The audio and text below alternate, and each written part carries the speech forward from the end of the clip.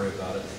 Uh, maybe I'll make a note over here that the quality in state nine is zero point nine five nine nine in case I need it later. Don't think I will, but just in case. And quality here at state ten is zero point eight one one six. Anyway, now that gives me the quality, and now I can calculate the enthalpy in state ten as HF. Now understand, well, let me finish the equation. Understand that this HF is not the same as this HF, right? This enthalpy of saturated liquid is the enthalpy of saturated liquid at 200 kilopascals, whereas this enthalpy of saturated liquid is the enthalpy of saturated liquid at 5 kilopascals. Two totally different things, okay, in the sense that they're at, two different uh, saturation uh, lines. So, again, I won't plug in the numbers for you uh, on the board, but you would look up the enthalpy of saturated liquid at 5 kilopascals and the difference between the enthalpy of saturated liquid and vapor at 5 kilopascals, plug it into the equation with the appropriate quality. Again, we've got two different qualities here, right, at two different states, 9 and 10. And you'll find the enthalpy in state 10. And when I did that, I found that the enthalpy in state 10 was about 2,104.89. Okay. So that takes care of all of the states on the right-hand side of the diagram. Let's continue with state 1. State 1 is actually pretty easy. State 1 is on the saturation line. So state 1, we actually can look up the temperature very easily. All we need to do is look up the temperature at 5 kilopascals. No problem, that's 32.87. So the temperature of the condensate at state 1 is 32.87 degrees Celsius.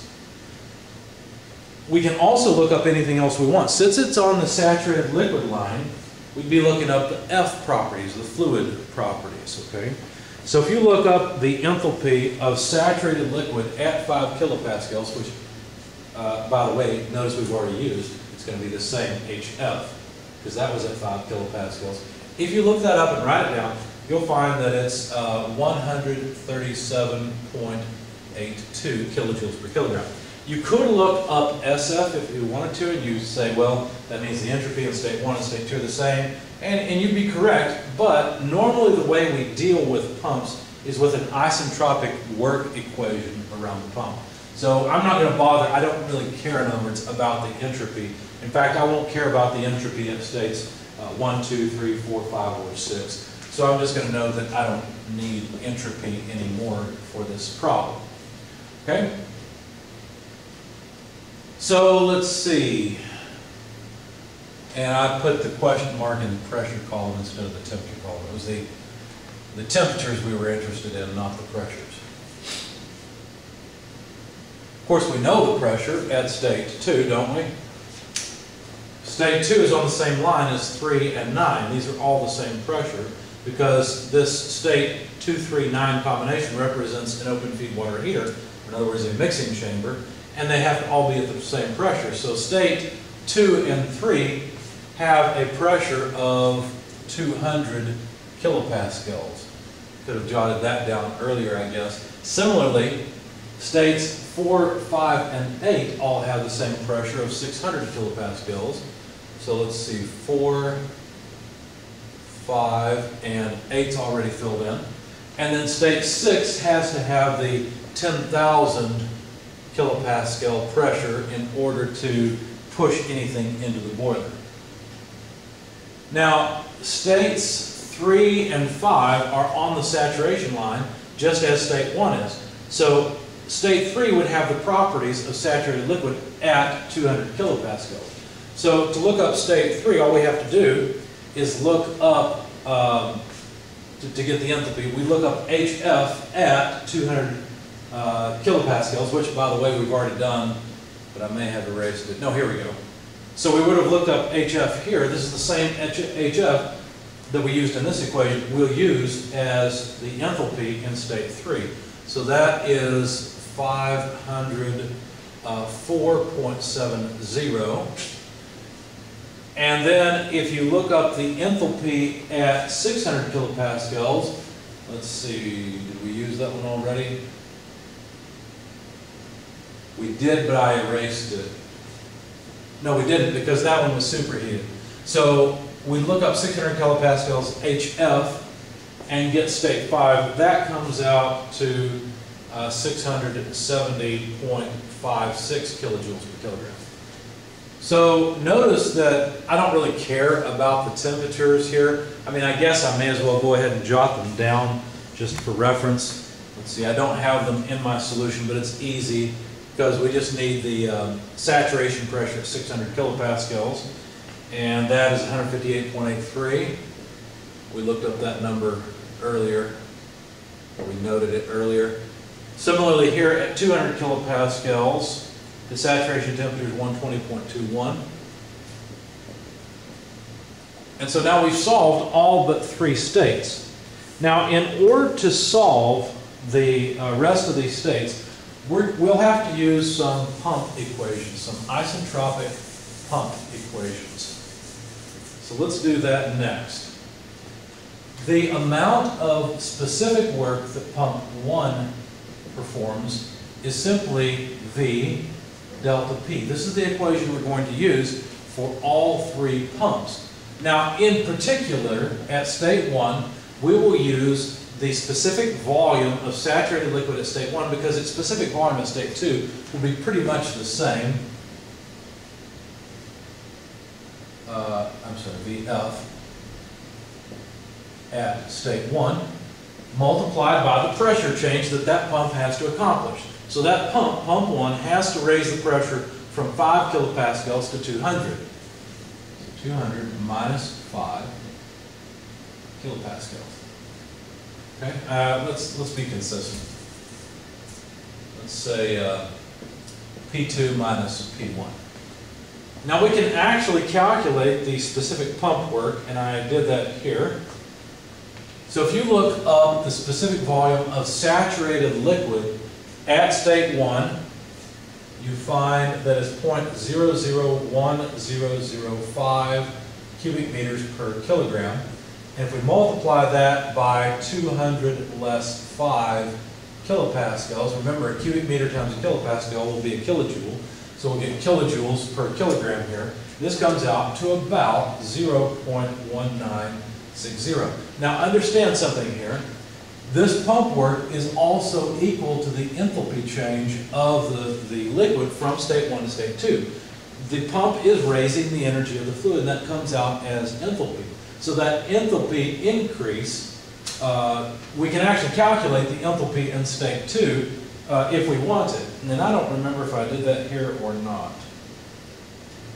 Yes, I did. Okay, so if we add that 0.196 to 137.82, you come up with about 138.02.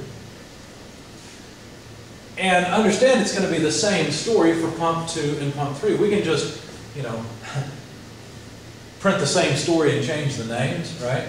So from state 3 to state 4, that's going to be H4 minus H3 equals the work that pump 2 performs, and I'm talking about the specific work, so that's going to be the specific volume of saturated liquid at state 3 times the pressure change from state 3 to state 4, you see? In the interest of time, I'm not going to fill in all the numbers. I'll just show you the result. You should go and fill in the numbers. The specific pump work for pump 2, and make sure I got all of these right, V3, V4, V3, yes. The number you should come up with is 0.4244 kilojoules per kilogram. And then that change in enthalpy would be added to state 3's enthalpy, because understand what we're doing here is we're saying, well, if we want to know the enthalpy in state 4, it's simply the work, the specific work that pump 2 does, plus the enthalpy in state 3, right? We're just rearranging this part of the equation. If we do that, then we can calculate the enthalpy in state 4 by just taking H3 plus the change in enthalpy and come out with the new enthalpy for state 4. When you do that, you come up with about 505.12 kilojoules per kilogram. And I'll let you fill in the details for pump three. Just follow this pattern. Use the state numbers five, six rather than one, two, or three, four. Make sure you know how to find the specific volume, understand what you're doing with your units. And then when you add that enthalpy change to the enthalpy at state five, you'll get the enthalpy at state six. So that comes out to 680.91 or so. Now notice, one of the things I cared about was the temperatures at these two points. Now this can be a little bit confusing, but the best way to approximate the uh, enthalpies at these points is based on temperature. In other words, the pressure is not something that really uh, indicates how much energy the fluid has. So if we're going the other way, if we were trying to say what's the enthalpy given either temperature or pressure, we would choose temperature, right? So what does that mean going back where we've got the enthalpy and now we're trying to find the temperature? Well, what that means is that we should approximate this enthalpy that we found in state 2, 4, and 6 particularly 2 and 6, because those are the ones where we really care about the temperatures, right? I don't really care about the temperature in state 4. I really wanted to contrast these two. We should approximate these enthalpies as if they were enthalpies of saturated liquid, okay? And look up these enthalpies as if they were saturated liquids, and then interpolate the temperature. Now, I didn't bring a calculator with me, and I didn't do this in my solution. I'll let you go through and do this. But if, now it's not, right? But if this was an enthalpy of saturated liquid, what would the temperature be? Well, of course, uh, we don't have 138.02. We do have 138.86. So the temperature at that point is 350 at 138.86. We're going to be a little bit below that. The next point is at 136.27 enthalpy, and it's 325 degrees. I'm just going to call this, I don't know, I'm going to estimate and say it's about 349 degrees. So if the enthalpy is 138, then the temperature is going to be roughly 349 degrees Celsius. Okay?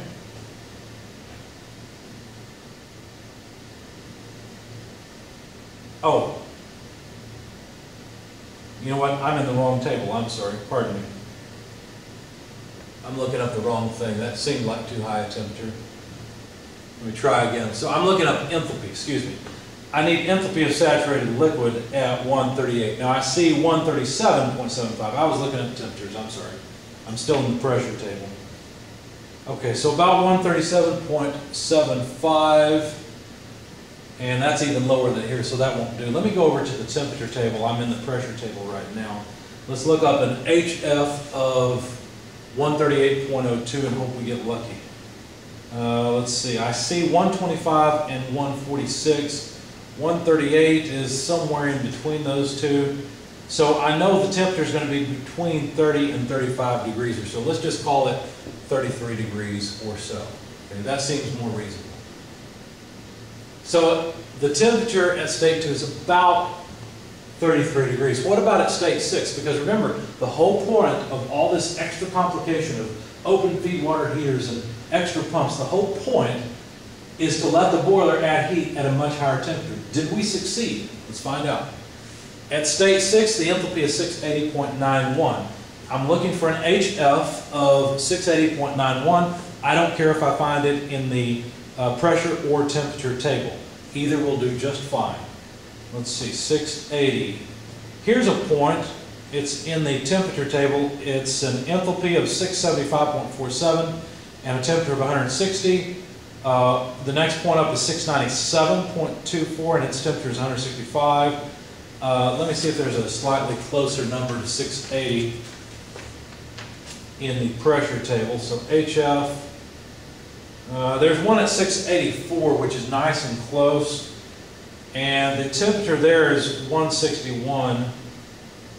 So let's see. Back over in the temperature table, I had found HF of 697. Uh, oh, no, I found 675, which is below my point at 160. So I'm between 160 and about 161 degrees, or 162. I'll call it 161 or so. So this is about 161 degrees. So look at the difference between those two. We have raised the low end where temperature is added, where thermal energy is added, we have raised it from about 33 degrees to about six- 161 degrees. That's a change of what? 30 is 131, so 128, about 128 degrees. So we've moved up the lowest temperature at which we're adding heat. So this should increase the thermal efficiency. You know, I didn't do this in my solution, but I might write out the equation for you to calculate what the thermal efficiency would be without all of this, this stuff. Um, I'll leave that to you. Anyway, now you can say, well, we've solved everything, right? Because we have all the enthalpies. Almost, not quite. There's actually a little bit more work that we need to perform. And you know, I should have kept the pump works. Let me jot down the amount of specific work that each pump requires. So we know where pumps one, two, and three are. That's easy. Let me just jot down the specific work of each pump uh, next to the line. So let's see, the specific pump work for three is uh, 10.3494. These are all kilojoules per kilogram. For pump two, it's 0.4244. And for pump one, it's about 0.1960 kilojoules per kilogram. That's a four on the end, though it doesn't look like it necessarily. Sorry, my nines and fours look a lot alike. Okay, so there's the specific pump work. The other thing we need to do, notice we don't know Y and we don't know Z. Right? We don't know the, the mass fractions that are being pulled off as bleed steam. How do you figure that out? Well, think about it this way. If you didn't pull off any bleed steam, you couldn't raise state four to the saturated state, right? It would just be at state four. The more steam you pull off, the closer you can get four to state five. Now, at some point, the steam is going to start to boil off the water and we'll end up in the saturated region, and we don't want that. We just want to raise the water from the compressed liquid region to the saturated liquid region. So we need enough steam, in other words, the right Y fraction, just to pull state four to state five. What does that mean? That means you need to perform an energy balance around the open feed water heater. So with the open feed water heater, what we have is steam coming in on, let's, let's take, um, I guess we'll take um, nine, three, and two first. So we've got steam coming in at state nine, subcooled condensate coming in at state two, and what's leaving is a saturated liquid at state three. Now this means that we can perform an energy balance around this because look, state nine has, well actually, you know what, I should have gone with the first one because there's only one unknown y in that one. Let me, let me switch this around. So what's coming in to uh, regenerate is state eight, and then from the pump is state four, and out is state five. Same story. The quality in state five is zero, in other words, it's a saturated liquid. But think about it this way. The mass flow rate through the boiler times Y, or Y percent of it, say 10%, we don't know yet what that percentage of is yet, goes into state eight, right? Or goes through state eight to come into the, uh, the open feed water heater. State four, on the other hand, comes in as, let's see, well, that's m dot 6 times 1 minus y. Should have written that the other way. There we go. Because it's the rest of it that's coming this way, right? That, that's coming around to meet. I know that it separates out here, but it recombines where you've got 1 minus y percent coming in this way through pump 2 and meeting with the y fraction to form state 5. So this is, or the flow rate in state 5 is all the flow. All the flow that's going to go through the boiler, m dot 6, or you could even say m dot 7. It's the whole thing. So if we write an energy balance for this, what would it look like?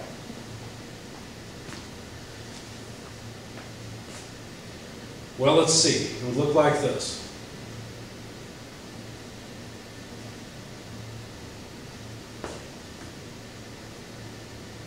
We need to know the enthalpy coming in at state eight, state four, and out at state five, but we know all of that already. So the energy balance would say, well, the, the amount of mass that flows in state eight is y m dot six. Okay? That stream, that mass flow rate, then has an enthalpy H8. Now stream 4 also carries energy in. Its mass flow rate is 1 minus y times m dot 6. And the rate at which all of this mass flow carries energy in is H4.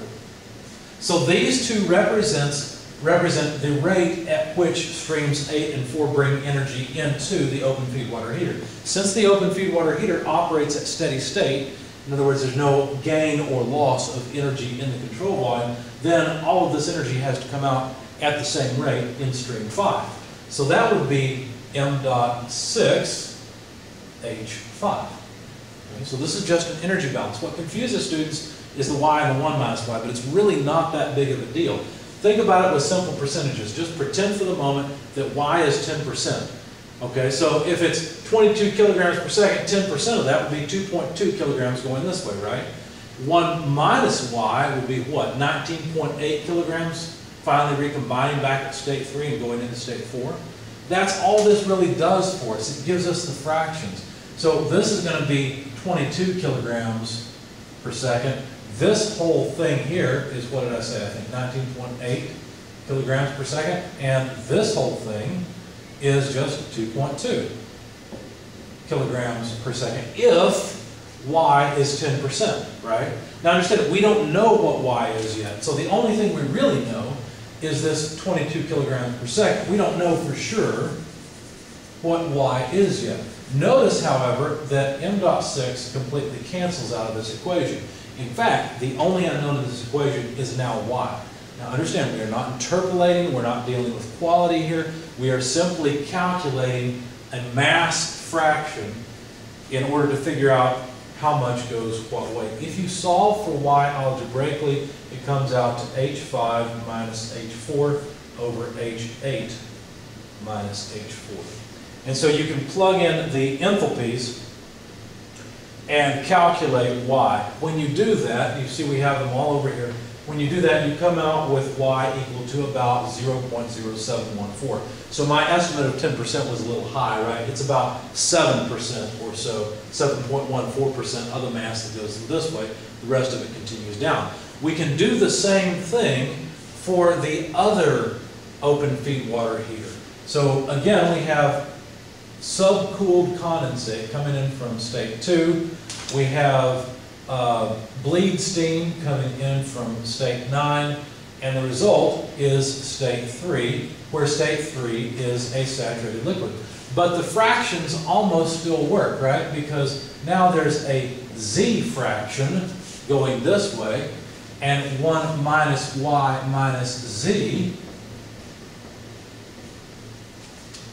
going, uh, let's see, going this way, you see?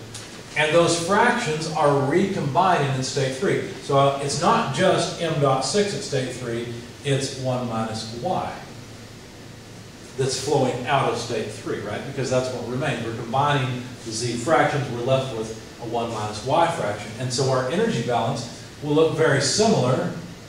Let me write it just beneath this one, then I'll erase it so that you can see it. Uh, because we'll have, let's see, energy coming in here. So z m dot 6 plus 1 minus y minus z m dot 6. Oh, I forgot my enthalpy, I'm sorry. I need the enthalpy in state 9. And here I need the enthalpy in state 2. And that will be equal to 1 minus y multiplied by the enthalpy in state 3. You see? See the similarity between the two energy balances? Now notice one interesting thing. Here we just have y, here we just have z, z, whereas in the other times we have, you know, we give a nod to y and to z. The reason is because this fraction is taken with respect to that mass flow rate, okay? It's not taken with respect to this mass flow rate. That would be confusing. Now since we already know y, done with that one. M dot six cancels just as it did before, and I forgot to write it here, I'm sorry. So M dot six cancels just as before, and we can solve for Z. If you do that, you'll find that Z equals one minus Y, H3 minus H2 minus Y H2 divided by H9 less H2. I want to verify this. Um, let me think for a second. Let me look at my solution, make sure I did this properly. Because I may have made a mistake at the board. Now that looks okay. So if you solve for Z, see, the two terms that have a Z multiplier are H2 and H9. Uh, H9 positive, H2 negative pulls out all the Z terms. Move everything to the other side. This is on the other side. That means we move uh, 1 minus Y, H2 to the other side.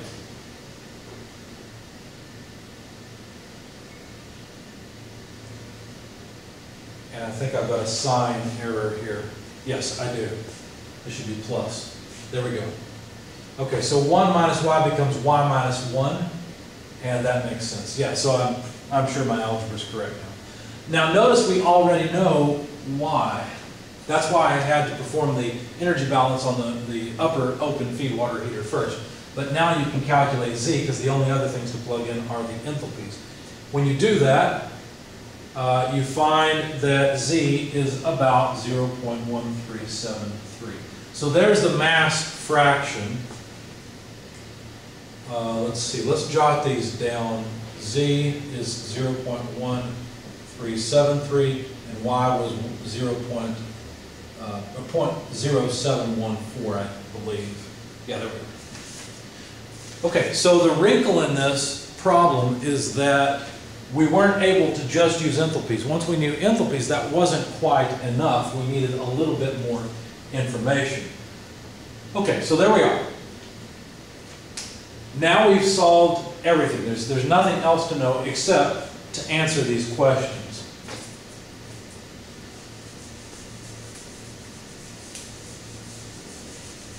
We know all the mass fractions and all the enthalpies. We know all the qualities. So now let's find out the answers to the question, what's the net power input? You might be tempted with the net power input to take the power input from the turbine here, the further expansion of the turbine, and here as well. It'd be fairly complicated because notice that the, there are three different flow rates through the turbine. Here's the bulk of the flow rate, but some of it goes this way. There's a lower flow rate here. Then some of it peels off, and there's even a lower flow rate here. You'd have one, two, three terms representing the power output from the turbine. And then you'd have one, two, three different flow rates with three different specific pump works representing power coming back in or back work to keep the process going. An easier way is to think about it this way. If it comes in as thermal energy and doesn't leave, because understand this is the only place where heat leaves.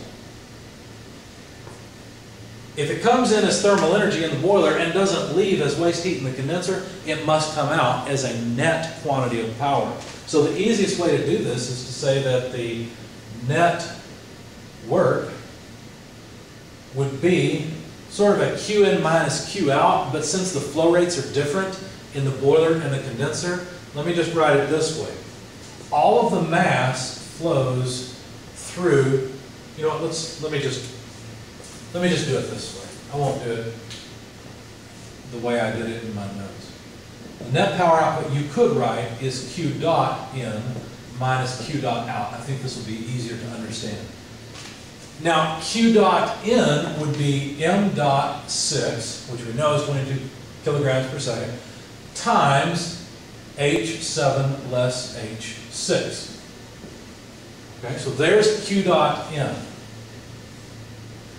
But Q dot out, on the other hand, would be the mass flow rate through state 6 times 1 minus y minus z, because that's the fraction that actually goes this way.